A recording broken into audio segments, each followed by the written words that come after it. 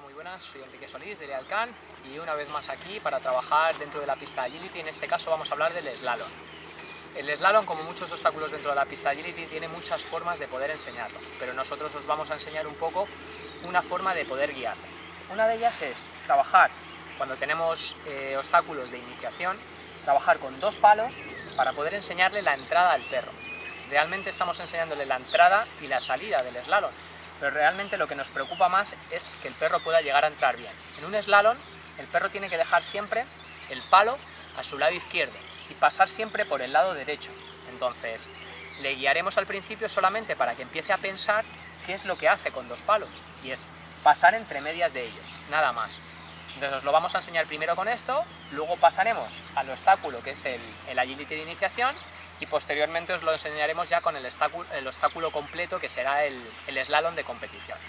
Como siempre, nos, le pedimos a quien que nos ayude y esta vez lo vamos a trabajar con mordedor en vez de con comida.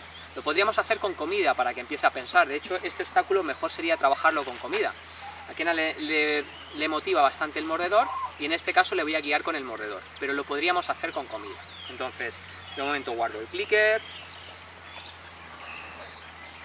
que muchas personas de vosotros nos preguntáis cómo lo puedo hacer, si no lo tengo que trabajar con el clicker.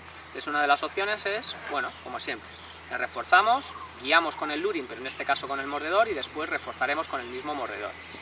Le cuesta más poder llegar a entender lo que le pedimos, pero bueno, veréis que es una de las formas de poder hacerlo, y así pues enseñamos algo más dentro de la pista que no tenga que ser con comida y con el clicker. Entonces, le guiamos, y lo primero que hacemos es solamente guiarle hacia adentro con el luring, Nada más, solamente de momento le estamos pidiendo eso. ¿Sabe? Entonces, de momento todavía, pues bueno, estamos solamente enseñándole un poco eh, qué es lo que le vamos a pedir, pero poco a poco, en cuanto sepamos que lo va a hacer, con nuestro manejo lo conseguimos, empecemos a dar la señal que le vamos a pedir al slalom completo.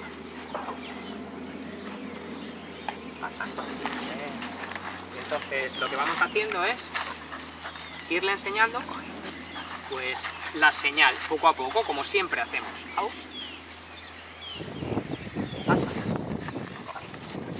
Entonces como veis, él está aprendiendo poco a poco qué es lo que le queremos pedir. Entonces independientemente desde el lado que se lo enseñemos, siempre será lo mismo.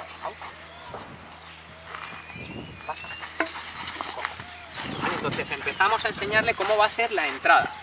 En este caso nosotros tenemos dos palos aquí y dos palos allí, para poder decirle, pasa, tenerle con nosotros, pasa, coge, ¿vale? Y poder trabajar. Bueno, esto sería con esos dos palos.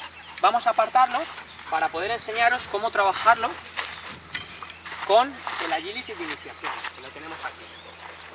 ¿Cómo trabajaríamos con el Agility de iniciación? Esto se puede hacer compaginándolo de las dos formas. Enseñándole cómo entrar y de forma cognitiva que esté de verdad pensando en lo que tiene que trabajar y cómo va a ser esa entrada, pero luego compaginándolo con la velocidad en, slalom, en el slalom de aprendizaje. Porque al principio es solamente un pasillo, como veis, que poco a poco se va cerrando. Pero al principio lo único que tiene que hacer es pasar por delante. ¿Vale?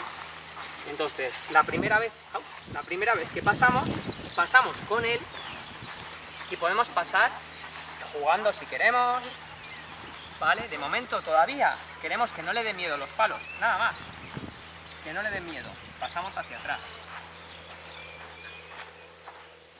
Entonces ahora en el slalom lo que haríamos es, con las señales que tiene Kenal, que nos puede ayudar a poder guiarle hasta el principio y que entre directamente el solo y pase solamente corriendo entre medias de los, de, la, de los palos, nada más, es lo único que queremos. Si tuviéramos un ayudante, nos le sujetaría aquí en la parte delantera, nosotros nos iríamos hasta el final y solamente le pediríamos que pasara entre los palos, pero con él le voy a acompañar un poquito, le guío y solamente le pido que pase entre medias de los palos, nada más. Venimos con él.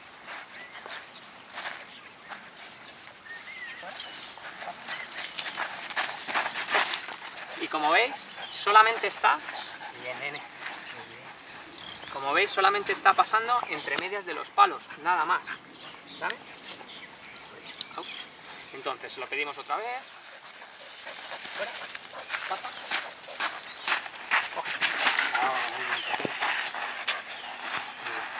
ahora lo que haríamos es cerrarlo un poco, como veis no le preocupa, le gusta incluso, y lo que haríamos es irlo cerrando un poquito.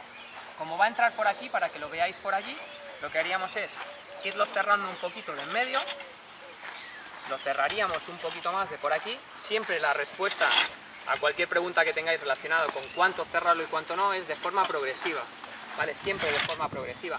Como veis tenemos estas ayudas por los laterales, que es lo que hace que el perro no se pueda salir por el lateral.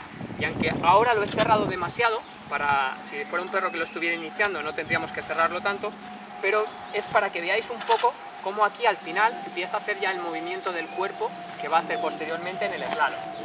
Entonces, más o menos así nos vale. Salimos.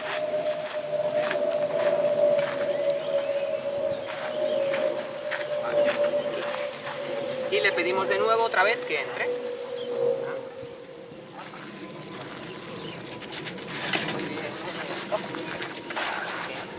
Entonces, como veis, el perro cada vez más va haciendo el movimiento de meterse entre los palos. vamos a pedir una vez más.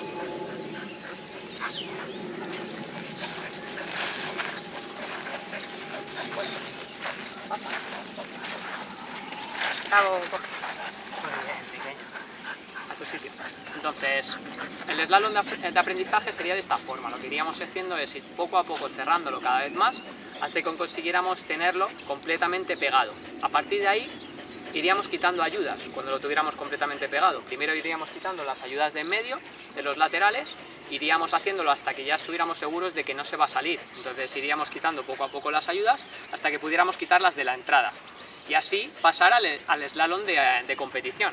Que el slalom de competición lo tenemos aquí y os vamos a enseñar con Kenal también cómo sería al final el slalom y así tenéis el ejercicio terminado del slalom, pero contar con que todo esto no se hace en una sesión, lógicamente. Se hacen muchísimas sesiones y el slalom es uno de los obstáculos más complicados dentro de la pista de agility. Ir de forma progresiva y aprender dentro de un club, en este caso sí, cómo trabajar el slalom. Vamos a pedírselo a Kena. Entonces, vamos a pedirle que haga el slalom completo para que veáis un poco cómo se hace. Pasa.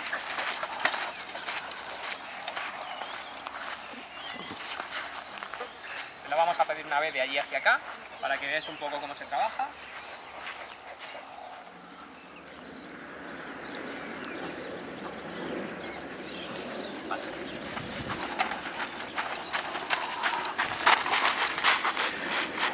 Muy bien, bueno, ahí tendríamos el slalom completo. Vamos a dejar a Kenalise a la sombra, a su sitio. Y así directamente tendríamos el slalom de competición, para que lo podáis ver cómo sería.